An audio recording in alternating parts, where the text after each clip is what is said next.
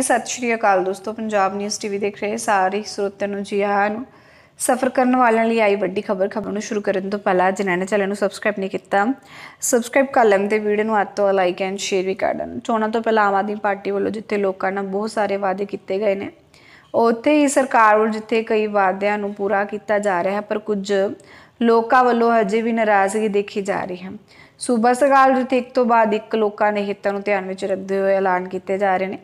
ਉੱਥੇ ਇੱਕ ਤੋਂ ਬਾਅਦ ਇੱਕ ਵਾਅਦੇ ਵੀ ਪੂਰੇ ਕੀਤੇ ਜਾ ਰਹੇ ਨੇ। ਉੱਥੇ ਹੀ ਉਹਨਾਂ ਕਰਮਚਾਰੀਆਂ ਵੱਲੋਂ ਮੁੜ ਤੋਂ ਸੰਘਰਸ਼ ਕਰਨ ਦੀ ਵੀ ਗੱਲ ਆਖੀ ਗਈ ਹੈ। ਜਿਨ੍ਹਾਂ ਨੂੰ ਚੋਣਾਂ ਤੋਂ ਪਹਿਲਾਂ ਧਰਨਾ ਪ੍ਰਦਰਸ਼ਨ ਕਰਦੇ ਆਮ ਆਦਮੀ ਪਾਰਟੀ ਵੱਲੋਂ ਉਹਨਾਂ ਦੀਆਂ ਮੰਗਾਂ ਨੂੰ ਮੰਨੇ ਜਾਣ ਦਾ ਭਰੋਸਾ ਦਵਾਇਆ ਗਿਆ ਹੈ।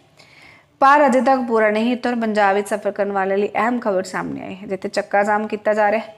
ਪੰਜਾਬ ਸਰਕਾਰ ਵੱਲੋਂ ਜਿੱਥੇ ਵੱਖ-ਵੱਖ ਵਿਭਾਗਾਂ ਦੇ ਕਰਮਚਾਰੀਆਂ ਵੱਲੋਂ ਕੀਤੇ ਗਏ ਵਾਅਦਿਆਂ ਨੂੰ ਪੂਰਾ ਕੀਤਾ ਜਾ ਰਿਹਾ ਹੈ ਤੇ ਪੰਜਾਬ ਦੇ ਵਿੱਚ 35000 ਬੱਚੇ, ਕੱਚੇ ਕਰਮਚਾਰੀਆਂ ਨੂੰ ਪੱਕੇ ਕੀਤੇ ਜਾਣ ਦਾ ਐਲਾਨ ਕੀਤਾ ਗਿਆ ਹੈ। ਉੱਥੇ ਹੀ ਹੁਣ ਸਰਕਾਰੀ ਬੱਸਾਂ ਦੇ ਕਰਮਚਾਰੀਆਂ ਵੱਲੋਂ ਉਹਨਾਂ ਨੂੰ ਪੱਕੇ ਕਰਨ ਦੀ ਮੰਗ ਨੂੰ ਹਜੇ ਤੱਕ ਵੀ ਪੂਰਾ ਨਾ ਹੁੰਦੇ ਦੇਖਦੇ ਹੋਏ ਉਹਨਾਂ ਨੂੰ ਮੁੜ ਤੋਂ ਚੱਕਾ ਜਾਮ ਕਰਨ ਦੀ ਤਿਆਰੀ ਕੀਤੀ ਗਈ, ਜਿੱਥੇ ਅੱਜ ਪ੍ਰੈਸ ਕਾਨਫਰੰਸ ਕੀਤੀ ਗਈ ਹੈ।